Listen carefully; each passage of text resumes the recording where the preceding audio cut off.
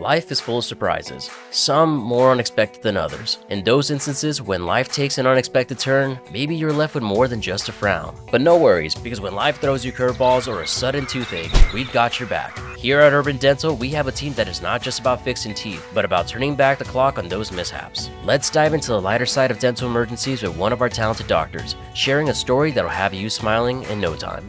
Uh, I had a uh, middle-aged man come to me on the weekend on a Saturday and he busted his front tooth, had trauma. He got hit by a ball. He was playing baseball with his friends. He had a some type of dental rehearsal that night and he was very conscientious. He's like, I'm not gonna be able to smile. He actually wore his mask until like he was sitting down. I was like telling him, hey, I need, I need to see, you gotta take your mask off. We weren't able to save the tooth. We had to take it out, but I, he left in a temporary bridge.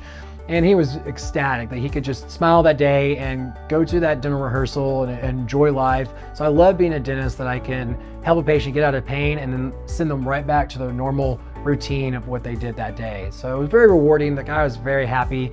Uh, he came back for the permanent bridge and was very pleased with that. It was a very heartwarming, uh, you know, treatment I did. URBN Dental, where dental emergencies become moments of transformation and where you can re-enter life with a radiant smile. Book your appointment online today by visiting our site at urbndental.com. That's urbndental.com.